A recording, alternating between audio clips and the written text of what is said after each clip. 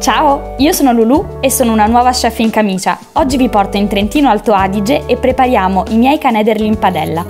In una ciotola con del pane raffermo integrale tagliato a cubetti aggiungiamo il latte, della farina integrale, del parmigiano, del sale, del prezzemolo, della noce moscata, due uova e infine della cipolla precedentemente stufata. Mescoliamo bene, se il composto risulta troppo asciutto aggiungete un goccio di olio evo, se invece risulta troppo umido allora aggiungete del pangrattato. Formate poi dei canederli e schiacciateli leggermente.